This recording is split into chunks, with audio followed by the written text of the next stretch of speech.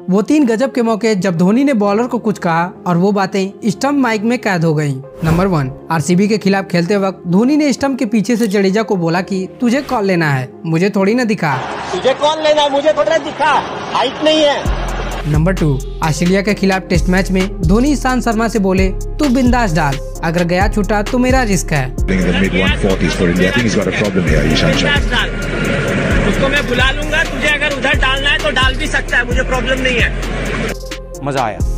Number three New Zealand से हो रहे एक टेस्ट के दौरान धोनी ने जडेजा को बोला अगर ये घूमेगा तो पुजारा को उसी के लिए रखा है। उधर ताली बजाने के लिए नहीं है आप भी सुनिए. घूमेगा तो इधर पुजारा को उसी के लिए रखा है। उधर ताली बजाने के लिए नहीं है।